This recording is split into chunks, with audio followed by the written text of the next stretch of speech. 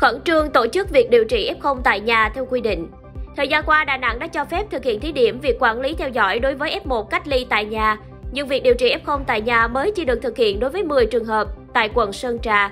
Phó Chủ tịch Ủy ban nhân dân thành phố Ngô Thị Kim Yến yêu cầu các địa phương khẩn trương tổ chức việc quản lý, điều trị và chăm sóc F0 không triệu chứng và triệu chứng nhẹ tại nhà. Theo đó, các quận huyện kích hoạt các trạm y tế lưu động, bố trí lực lượng nhân viên y tế, tình nguyện viên, xác định các F0 có nguy cơ thấp, theo dõi và hướng dẫn chăm sóc, tự chăm sóc F0 tại nhà, hỗ trợ tâm lý dinh dưỡng, vận động can thiệp kịp thời khi có diễn biến xấu về sức khỏe F0 trong lúc chờ đưa đi bệnh viện, xác định được các F0 đã khỏi bệnh. Để làm tốt việc này, Sở Y tế có trách nhiệm hướng dẫn các địa phương về đảm bảo các điều kiện về cơ sở vật chất, cung ứng đầy đủ trang thiết bị y tế, hóa chất, vật tư tiêu hao, lương thực thực phẩm và các điều kiện phục vụ để chăm sóc tốt nhất cho người mắc COVID-19 điều trị tại nhà, hướng dẫn quy trình cụ thể đối với từng vấn đề trong quá trình điều trị F0 tại nhà như là xử lý rác thải, trao đổi thông tin, chuyển tầng điều trị.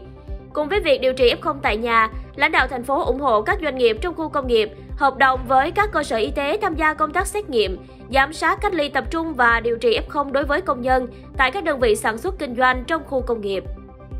Hãy đăng ký kênh Alo Bác sĩ Video để nhận thêm nhiều thông tin mới nhất về y tế, sức khỏe